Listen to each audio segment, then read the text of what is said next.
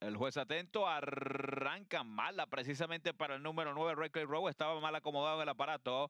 Viene rápidamente por el centro Jericho Marsh a tomar el primer puesto. Ataca American Prince, se acomoda en el segundo. En el tercero intenta meterse por dentro Tris Cridley. En el cuarto por la parte central de la cancha Junipero Avenue. Más atrás intenta meterse Reckless Rowe. Junto a él está el número 2, el ejemplar Mary Mary Moyo. Más atrás aparece High Society, mientras que Reckless Rowe está último. Acaba de pasar el penúltimo lugar. Está en punta el 4, el ejemplar American Prince. Pasó al segundo lugar por la parte central de la cancha el 9 Raycliffe Rowe, que del primero, del, último, el primero se va rápidamente a pelear la punta en 23-3, el parcial para los primeros 400 metros, Jericho Marsh está tercero, en el cuarto aparece Tris Criley peleando esa posición con el número 5 Junipero Avenue, más atrás aparece el 1 High Society, más atrás viene quedándose por el centro Fantasy, mientras que el 2 ahora Mary Mary Moyo está en la última colocación, 46-3 el parcial para la media milla, American Print por dentro, Raycliffe Rowe por la parte externa, pelea en el primer lugar, Jericho Marsh está tercero, en el cuarto intenta a meterse por la parte central de la cancha Juniperio Avenue. En el quinto se quedó el ejemplar Tris Criley. Más atrás mejora el 6, el ejemplar Fantasy junto al número 1 High Society y Mary Mary Moyo sigue en el último lugar.